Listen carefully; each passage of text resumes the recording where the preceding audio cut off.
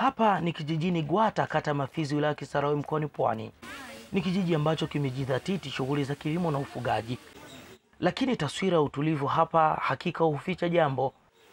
Kijiji hiki ni miongoni mwa vijiji vinavyokumbwa na migogoro baina ya wafugaji na wakulima kiasi cha kutishia uvunjifu wa amani mara kadhaa. Uwepo wa migogoro hiyo ni hali ya kugofya matishio ya mauaji na hata baadhi kujeruhiwa. Jicho la tatu inadhaniwa chimbuko ni hili. Kuna wafugaji kwenda kuishi maeneo ambayo yakutengwa kule, wakienda wakuta walipohamia wakulima wamelima, inapelekea ng'ombe kula mazao, hiyo inaleta shida na migogoro inatokea. Lakini kuna wakati mwingine pia wakulima wanakwenda kulima eneo lililotengwa kwa ajili ya mifugo. Tumekuwa na matukio mbalimbali ambayo hata viongozi wetu wengine wanachochea hayo matukio, lakini unakuta wafugaji wanaingia kwenye maeneo wanaanza kuamrisha wananchi kwamba leo au wakulima leo saa fulani mpaka fulani tunaingia tunalisha mifugo yetu. Sasa hiyo kidogo inaleta inaleta ina, inapelekea kuwa na hizi sintofahamu. Sasa ni mkutano maalum. Waziri wa mifugo na uvuvi Luhaga Mpina amefika kijijini hapa, nia tu ni kukutana na makundi yote, kuwasikiliza na kujua chenye kuwasibu. Maelezo ya kinagaubaga yalihitajika zaidi, wakulima wakatoa la moyoni mwao. Tangu tuanze kupokea wafugaji mwaka elfu mbili na nane hapa Gwata mpaka sasa hivi hatuna tunachokivuna, hatuna tunachokilima. Matokeo yetu tu maiti, kupokea maiti au majeruhi. Kesi huwa hadishi kila siku, na kila tukiwaambia endelee kwenye eneo ambayo mmepangiwa hawataki kwenda. Wanasema huko kuna kuna ma, kuna mandorobo kuna nini, na ndio nyumba imepangwa kwa ajili ya mifugo. Ng'ombe zinakuja mpaka mpaka michaichai wanakula, ukiwafukuza nakwambia ziache zile. Nashukuru sana Mheshimiwa Waziri, kwanza kuonana na wewe, nimesikia mengi, alafu na mimi mwenyewe pia nina ya kwangu ya moyoni. Wafugaji Vivyo hivyo wafugaji nao wakalia na unyanyasaji kutokana na kutokuwa wazawa.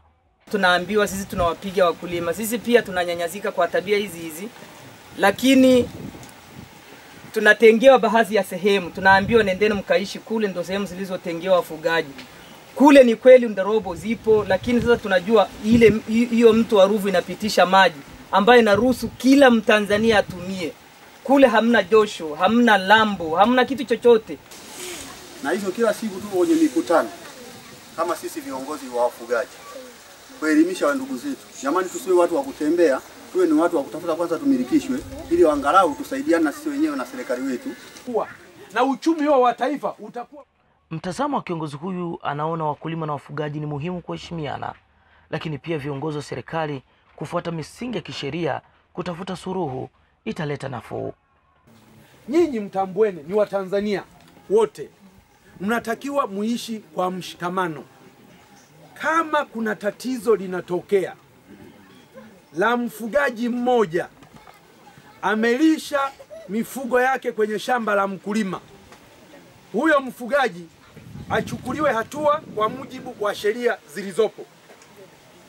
Kama kuna mkulima kama kuna mkulima ambaye ameenda kukata ng'ombe wa wafugaji au ameenda kuwatesa wafugaji, ashughulikiwe yeye kama yeye, asikosee mkulima mmoja wakahukumiwa wakulima wote.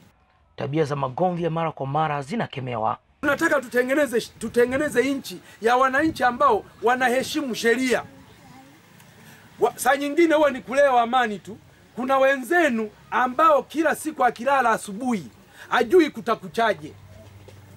Kwa hiyo mimi naweza kuchukua wakulima wa nchi hii na wafugaji wa nchi hii, mmelewa amani inayotengenezwa na serikali yenu. Matokeo yake sasa mnaanza kutengeneza uhasama ambao hauna sababu yoyote.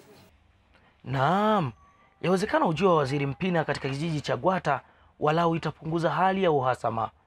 Sudi Shaban, Star TV, Kisarawe, Pwani. Bofya kitufe cha subscribe kisha gusa alama ya kengele kupata taarifa za Star TV muda wote, wakati wowote.